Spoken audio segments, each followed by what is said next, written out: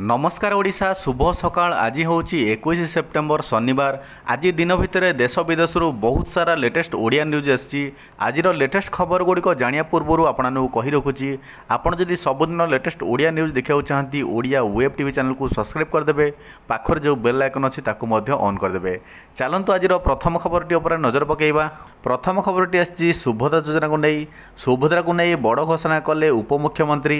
ଏଣିକି ମହିଳାମାନଙ୍କୁ ପାଞ୍ଚ ହଜାର ସହିତ ମିଳିବ ପାଞ୍ଚଶହ ଟଙ୍କା ଅଧିକ ବୋନସ୍। ସୁଭଦ୍ରା ଯୋଜନାକୁ ନେଇ ଉପମୁଖ୍ୟମନ୍ତ୍ରୀ ପ୍ରଭାତୀ ପରିଡ଼ା ବଡ଼ ଘୋଷଣା କରିଛନ୍ତି। ସେ କହିଛନ୍ତି ସୁଭଦ୍ରାକୁ ନେଇ ଅନେକ ଗୁଡ଼ିଏ ଗୁଜବ ସୃଷ୍ଟି କରାଯାଉଛି। ଆପଣମାନେ ଭ୍ରମିତ ହୁଅନ୍ତୁ ନାହିଁ। ବ୍ୟାଙ୍କରୁ ଟଙ୍କା ନ ଉଠାଇଲେ ସରକାର ନେଇଯିବା ନେଇ ଯେଉଁ ଗୁଜବ କୁହାଯାଉଛି ବାସ୍ତବରେ ସେଭଳି କିଛି ନାହିଁ। ଏଭଳି ମିଥ୍ୟା ପ୍ରଚାର ଶୁଣନ୍ତୁ ନାହିଁ। ଯେଉଁମାନେ ଟଙ୍କା ପାଇଛନ୍ତି ସେ ଟଙ୍କା ତାଙ୍କର ଖର୍ଚ୍ଚ କରିପାରିବେ।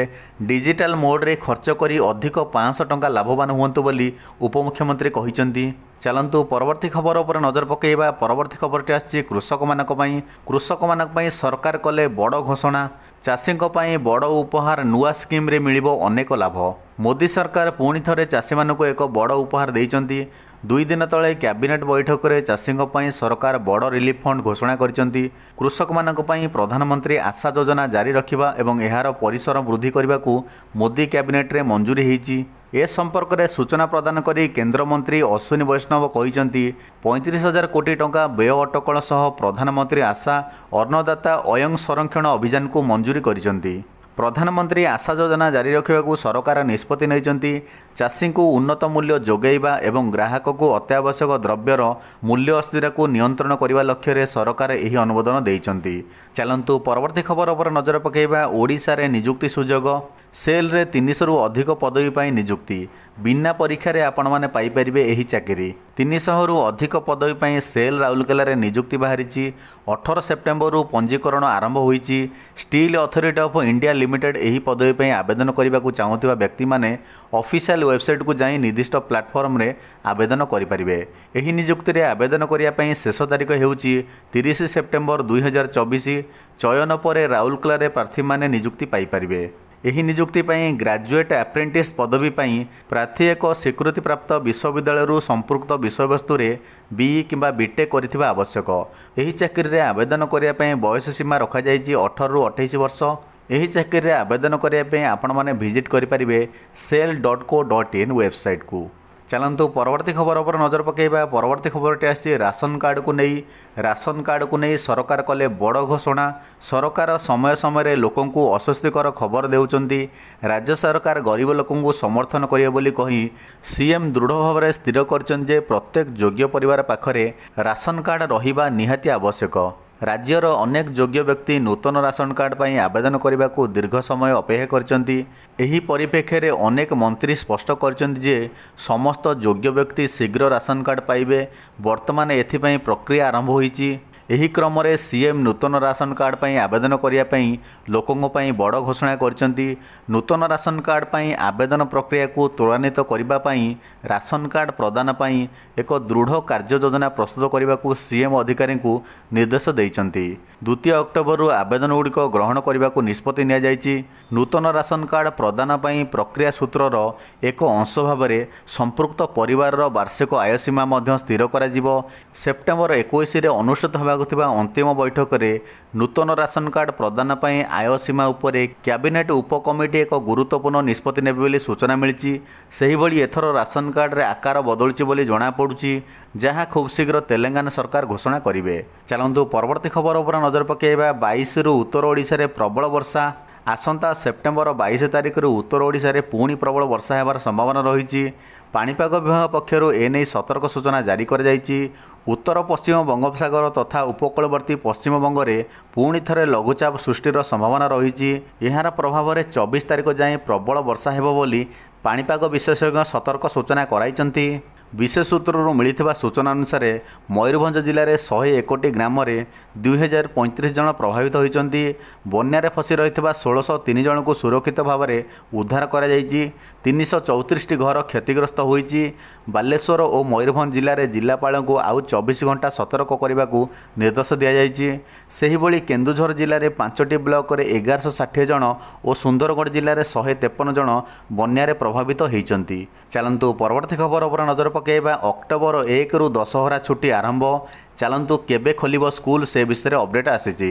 ଆଗକୁ ଆସୁଛି ପର୍ବଣର ମହାସମ୍ବାର। ଏଥିପାଇଁ ରାଜ୍ୟର ସମସ୍ତ ସ୍କୁଲରେ ଛୁଟି ଘୋଷଣା ହୋଇଯାଇଛି। ଆସନ୍ତା ଅକ୍ଟୋବର ମାସ ଏକ ତାରିଖରୁ ସ୍କୁଲରେ ଛୁଟି ପାଇଁ ଘୋଷଣା ହୋଇଛି। ଲଗାତାର ପନ୍ଦର ଦିନ ପାଇଁ ଏହି ଛୁଟି ଉପଭୋଗ କରିପାରିବେ ସ୍କୁଲର ଛାତ୍ରଛାତ୍ରୀମାନେ। ସମସ୍ତ ଶିକ୍ଷାନୁଷ୍ଠାନରେ ଛାତ୍ର ମହୋତ୍ସବ ପାଳନ କରିବା ପାଇଁ ଚଉଦ ଦିନର ଛୁଟି ଘୋଷଣା କରିଛନ୍ତି ସରକାର। ଅକ୍ଟୋବର ଏକ ତାରିଖରୁ ଚଉଦ ତାରିଖ ପର୍ଯ୍ୟନ୍ତ ସ୍କୁଲ ଛୁଟି ରହିବାକୁ ଘୋଷଣା କରାଯାଇଛି। ଆଗାମୀ ଦଶହରା ପର୍ବ ପାଇଁ ଶିକ୍ଷା ବିଭାଗ ତରଫରୁ ଶିକ୍ଷାନୁଷ୍ଠାନ ଗୁଡ଼ିକରେ ଛୁଟି ଘୋଷଣା ଘୋଷଣା କରାଯାଇଛି। ଅକ୍ଟୋବର ପନ୍ଦର ତାରିଖରୁ ପୁଣି ଥରେ ସ୍କୁଲରେ ପୂର୍ବପରି ପାଠପଢ଼ା ଆରମ୍ଭ ହେବ। ତେବେ ଏହି ଘୋଷଣାଟି କରିଛନ୍ତି ତେଲେଙ୍ଗାନା ସରକାର। ଚାଲନ୍ତୁ ପରବର୍ତ୍ତୀ ଖବର ଉପରେ ନଜର ପକାଇବା। କାନାଡ଼ା ବ୍ୟାଙ୍କରେ ବାହାରିଛି ତିନି ହଜାର ପଦବୀ। ଗ୍ରାଜୁଏସନ୍ କରିଥିଲେ ପାଇପାରିବେ ସୁଯୋଗ। ତେବେ ଜାଣନ୍ତୁ ଓଡ଼ିଶାରେ କେତୋଟି ପଦବୀ ଖାଲି ଅଛି କାନାଡ଼ା ବ୍ୟାଙ୍କରେ। କାନାରା ବ୍ୟାଙ୍କରେ ବାହାରିଛି ନିଯୁକ୍ତି ସୁଯୋଗ। ଏନେଇ କାନାରା ବ୍ୟାଙ୍କ ବିଜ୍ଞପ୍ତି ପ୍ରକାଶ କରିଛି। ଏହି ନିଯୁକ୍ତି ମାଧ୍ୟମରେ କାନାରା ବ୍ୟାଙ୍କରେ ଭାରତର ବିଭିନ୍ନ ରାଜ୍ୟରେ ଆପ୍ରେଣ୍ଟିସ୍ ପଦବୀ ପୂରଣ ହେବ। ଏନେଇ ଅନଲାଇନ୍ ମାଧ୍ୟମରେ ଆବେଦନ କରିବାକୁ ପଡ଼ିବ। ଏହି ନିଯୁକ୍ତି ମାଧ୍ୟମରେ ଉଭୟ ପୁରୁଷ ଏବଂ ମହିଳାମାନେ ଆବେଦନ କରିପାରିବେ। ଏନେଇ ତିନି ହଜାର ପଦବୀ ପୂରଣ ହେବ। ଓଡ଼ିଶାରେ ସତୁରିଟି ପଦବୀ ପୂରଣ ହେବ। ବିଶେଷ କରି ଗ୍ରାଜୁଏସନ୍ କରିଥିବା ପିଲା ଏହି ସୁଯୋଗ ପାଇପାରିବେ। ଏହି ଚାକିରିରେ ଆବେଦନ କରିବା ପାଇଁ ଆପଣଙ୍କ ବୟସ କୋଡ଼ିଏରୁ ଅଠେଇଶ ବର୍ଷ ମଧ୍ୟର ହୋଇଥିବା ଆବଶ୍ୟକ। ଏହି ଚାକିରିରେ ଦରମା ରଖାଯାଇଛି ପନ୍ଦର ହଜାର ଟଙ୍କାରୁ ଅଧିକ ଟଙ୍କା। ଯୋଗ୍ୟ ଓ ଆଗ୍ରହୀ ପ୍ରାର୍ଥୀମାନେ କାନାରା ବ୍ୟାଙ୍କର official website Canara bank dot କମ୍କୁ ଯାଇ ଆବେଦନ କରିପାରିବେ। ଚାଲନ୍ତୁ ପରବର୍ତ୍ତୀ ଖବର ଉପରେ ନଜର ପକାଇବା। ଭରତପୁର ଥାନା ମାମଲାରେ ନ୍ୟାୟିକ ତଦନ୍ତ ଦାବି କଲେ ନବୀନ ପଟ୍ଟନାୟକ। ଭରତପୁର ଥାନାରେ ଯେପରି ଭାବରେ ଜଣେ ମିଲିଟାରୀ ଅଧିକାରୀ ଓ ଜଣେ ମହିଳାଙ୍କୁ ନିର୍ଯାତନା ଦିଆଗଲା ତାକୁ ବିରୋଧୀ ଦଳ ନେତା ଶ୍ରୀ ନବୀନ ପଟ୍ଟନାୟକ ଦୃଢ଼ ନିନ୍ଦା କରିବା ସହ ଏ ଘଟଣାକୁ ଲୋମହର୍ଷଣକାରୀ ବୋଲି ବର୍ଣ୍ଣନା କରିଛନ୍ତି। ଥାନା ଭିତରେ ପୋଲିସ ଯେଭଳି ନିର୍ଦ୍ଦୟ ବ୍ୟବହାର କରିଥିବା ଅଭିଯୋଗ ହୋଇଛି ତାହା ସାରା ଦେଶର ବିବେକକୁ ଦୋହଲାଇ ଦେଇଛି ବୋଲି ଶ୍ରୀ ନବୀନ ପଟ୍ଟନାୟକ କହିଛନ୍ତି। ଚାଲନ୍ତୁ ପରବର୍ତ୍ତୀ ଖବର ଉପରେ ନଜର ପକାଇବା। ଏସ୍ଏଚ୍ଜି ମହିଳା ପାଇବେ ଆଠ ଲକ୍ଷ ଟଙ୍କା। ଦେଶବ୍ୟାପୀ ଚଉଦ ହଜାର ପାଞ୍ଚଶହ ଏସ୍ଏଚ୍ଜିର ମହିଳା ହେବେ ରାଷ୍ଟ୍ର ବିକାଶର ଚାବିକାଠି। ଏଣିକି ଏସ୍ଏଚ୍ଜି ମହିଳାମାନେ ଉଡ଼ାଇବେ ଡ୍ରୋନ୍। ମହିଳାଙ୍କ କେନ୍ଦ୍ର ଏକ ବିଶେଷ ଯୋଜନାରେ ଦିଆଯିବ ଡ୍ରୋନ୍। ଏହାକୁ କୁହାଯାଇଛି ଡ୍ରୋନ୍ ଦିଦି। ଏହି ଯୋଜନାରେ ମହିଳାଙ୍କୁ ଆଠ ଲକ୍ଷର ଲେଖାରେ ଫାଇଦା ହେବାକୁ ଯାଉଛି ଏଥିରେ ଦେଶବ୍ୟାପୀ ଚଉଦ ହଜାର ପାଞ୍ଚଶହ ଏସ୍ଏଚ୍ଜିକୁ ଡ୍ରୋନ୍ ଦିଆଯିବ କେନ୍ଦ୍ର ଓ କୃଷି ମନ୍ତ୍ରାଳୟ ମୁତାବକ ଏହି ଯୋଜନାରେ ଡ୍ରାଫ୍ଟ ପ୍ରସ୍ତୁତ ହୋଇସାରିଛି ତିନି ମାସ ଭିତରେ ତିନି ହଜାର ଡ୍ରୋନ୍ ବଣ୍ଟନ କରାଯିବ ତେବେ କ'ଣ ଏହି ଡ୍ରୋନ୍ ଦିଦି ଯୋଜନା ଏହାର କାମ କ'ଣ ରହିବ ଦୁଇ ହଜାର ତେଇଶ ନଭେମ୍ବରରେ ପ୍ରଧାନମନ୍ତ୍ରୀ ଏହି ଯୋଜନାର ଆରମ୍ଭ କରିଥିଲେ। ଏହି ଯୋଜନା ମାଧ୍ୟମରେ ମହିଳା ଡ୍ରୋନ୍ ଉଡ଼ାଇବା ଶିଖିବା ପରେ ନିଜ ଅଞ୍ଚଳରେ ଥିବା ଚାଷ ଜମିର ଉର୍ବରତା ବୃଦ୍ଧି ଦିଗରେ କାମ କରିବେ। ଡ୍ରୋନ୍ ମାଧ୍ୟମରେ ସାର ସିଞ୍ଚନ କରାଯିବ। କୃଷି କ୍ଷେତ୍ରରେ ଅଧିକ ଆଧୁନିକ ଓ ବିକଶିତ କରିବାକୁ ଏହି ଡ୍ରୋନ୍ ଦିଦି ଯୋଜନା ଆରମ୍ଭ ହେବାକୁ ଯାଉଛି। ଏଥିରେ କୃଷି ଅଭିବୃଦ୍ଧି ସହ କୃଷକ ଲାଭବାନ ହୋଇପାରିବେ।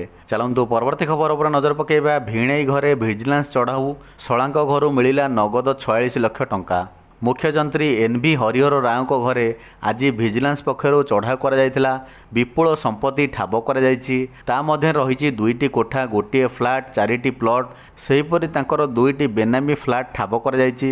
ବ୍ୟାଙ୍କରେ ସେ ଏକ ପଏଣ୍ଟ ଏଗାର କୋଟି ଟଙ୍କା ଜମା ରଖିଥିବା ବେଳେ ତାଙ୍କର ଅନ୍ୟାନ୍ୟ ଜମା ଏବଂ ନିବେଶ ନେଇ ଭିଜିଲାନ୍ସ ତଦନ୍ତ ଜାରି ରହିଛି। ମୁଖ୍ୟଯନ୍ତ୍ରୀ ଶ୍ରୀ ରାଓଙ୍କ ଗୋଟିଏ ଚାରି ଚକିଆ ଓ ଗୋଟିଏ ଦୁଇ ଚକିଆ ଗାଡ଼ି ଅଛି। ସେହିପରି ତାଙ୍କ ଶଳାଙ୍କ ଘରୁ ନଗଦ ଛୟାଳିଶ ପଏଣ୍ଟ ପଇଁଚାଳିଶ ଲକ୍ଷ ଟଙ୍କା ଜବତ କରାଯାଇଛି। ଦର୍ଶକ ବନ୍ଧୁ ଆଜିର ଲେଟେଷ୍ଟ ଓଡ଼ିଆ ନ୍ୟୁଜ୍ ଗୁଡ଼ିକ ଆପଣମାନଙ୍କୁ କେମିତି ଲାଗିଲା କମେଣ୍ଟ କରି ଜଣାନ୍ତୁ। ଆଉ ଯଦି ଆମ ଭିଡ଼ିଓ ଆପଣଙ୍କ ପସନ୍ଦ ଆସିଥାଏ ଭିଡ଼ିଓକୁ ଲାଇକ୍ କରିବେ ଏବଂ ନିଜ ସାଙ୍ଗସାଥିମାନଙ୍କୁ ସେୟାର କରିବେ। ଆଜି ପାଇଁ ଏତିକି। ନମସ୍କାର ଜୟ ଜଗନ୍ନାଥ।